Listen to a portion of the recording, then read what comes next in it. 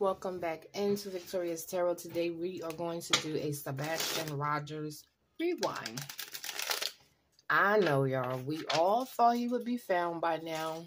But this is what happens when you have grown-ass people playing childish games when you're actually looking for a child. So we're going to do a Sebastian rewind. And we're going to start with Katie's energy the night Sebastian disappeared. What's going on with Katie's energy the night Sebastian Rogers disappeared? Because I refuse to say he ran away. If he ran away, he was trying to run from her ass, in my opinion.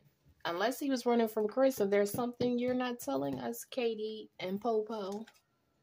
Queen of Cups, needy, over emotional. So it looks like Katie was in her feelings that night, like always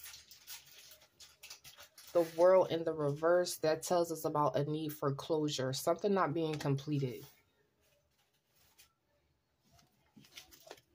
Was not seen, the Hierophant. This talks about traditional values, church, a teacher, things like that, marriage. Something not seen about her marriage. So in the past, she's in her feelings about whatever she's in her feelings about in the present, there's a need for closure. Something's not completed, was not seen. I feel like there's something going on in her marriage. When it comes to Sebastian, we have mental illness and learning to, how to cope with the situation.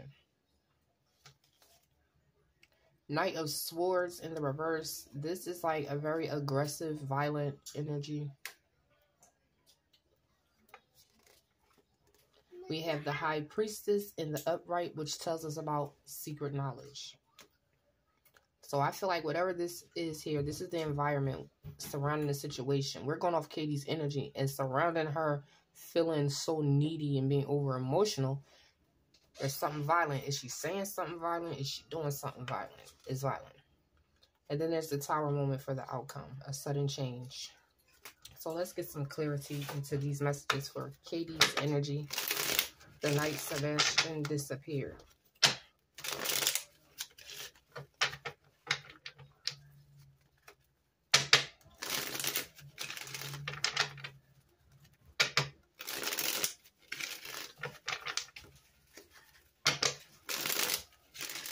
Worry, anxiety, fear,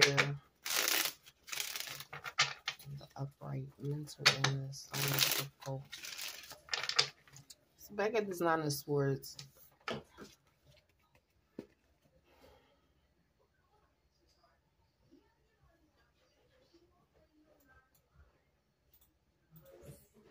What is it that you were trying to cope with, Katie? What is it that was like driving your ass bananas?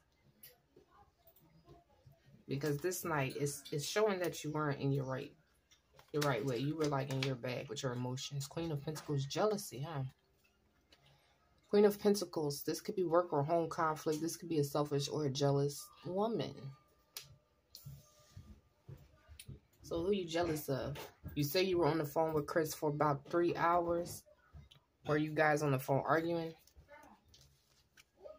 We have the Page of Swords, which tells us about curiosity, chatty. You said you were on the phone and you're looking for closure. What kind of closure are you looking for? Temperance in the upright tells us about the balance, the peace, the harmony, blending. The lovers in the upright needing to make a choice. So it's looking like you guys were probably on the phone all that time, in my opinion trying to figure out if you guys were going to stay together or not. That's what it's looking like. Trying to find peace, bring peace to the marriage, but it wasn't working. And instead of this being Sebastian's energy is coming up under, is on top of you guys, the lovers, you know, needing to make a choice. Queen of Swords in the reverse, she's very nasty. So whatever she's saying, it's very nasty. Secret knowledge about the star the tower moment being clarified by the nine of wands in the reverse which tells us about the end of a battle So, what is really good, Katie, the night your son disappeared? The only thing that you keep pushing out is how you're feeling in your marriage. Did you take your son's life to save your marriage? That's what I have right now. Like, share, and subscribe. And I'll see you guys on the next video.